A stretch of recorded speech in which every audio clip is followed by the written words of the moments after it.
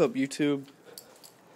I got a request to make a video about how to find a good ground.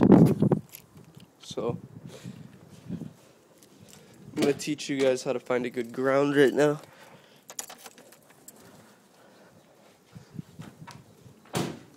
First off, let me show you that I made the trunk look a little bit nicer.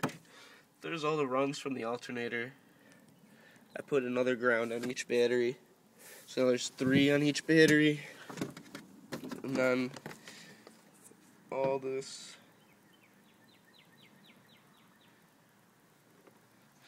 So I had a shitload of 4 gauge laying around, so that's why everything I did yesterday is in 4 gauge. Actually, I'm still gonna need this up. Okay, so what you're gonna need to find a good ground is a digital multimeter. You know what? I actually gotta take that shit back off. You're gonna need a digital multimeter, and that's it.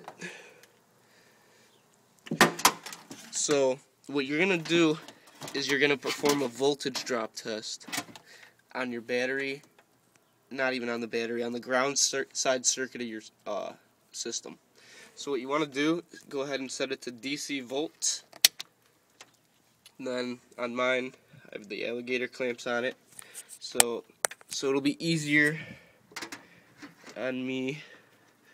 We're gonna put you're gonna take one lead, put it on the negative terminal of your battery, take the other lead, and then put it on your ground. Mine's right there. You do not want to see more than 0.2 on your DMM. So, I'm going to put that down there on the ground.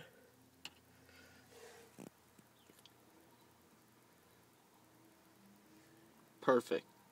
That's a great ground right there. Alright, and now I'm going to show you on my other ground, which is back here put it on there.